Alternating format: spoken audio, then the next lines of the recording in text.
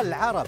أهل تنقل وارتحال طلبا للتجارة والكلى لإلاف قريش إيلافهم رحلة الشتاء والصيف ففي الشتاء يحدرون لليمن ويصلون بلاد بصرة وفي الصيف يصدرون للشام ويصلون حمير. وهنالك مواسم ثقافية سوق عكاظ يقام بالطائف في شهر ذا القعدة.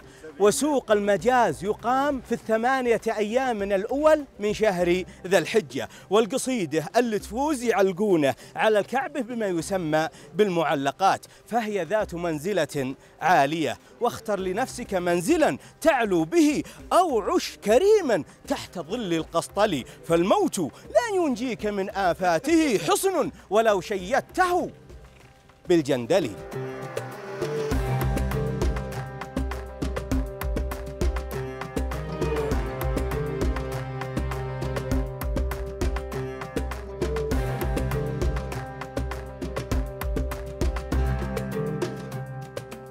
والمناطق الجنوبية.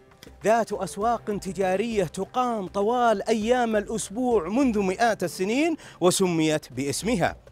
يوم السبت بالعلايا سبت العلايا. ويوم الأحد بالمسارحه ورفيده. أحد المسارحه وأحد رفيده ويوم الخميس بمشيط خميس مشيط. ويوم الجمعة من عادة العرب أنهم يجعلونها يوم إجازة. تمر بنا الأيام سرعى كأننا نرى سرعة الأيام كالبرق إن برق. فإن كنت ذو لب حصيف وحكمة فلا تجعل الأيام تمضي. كما سبق.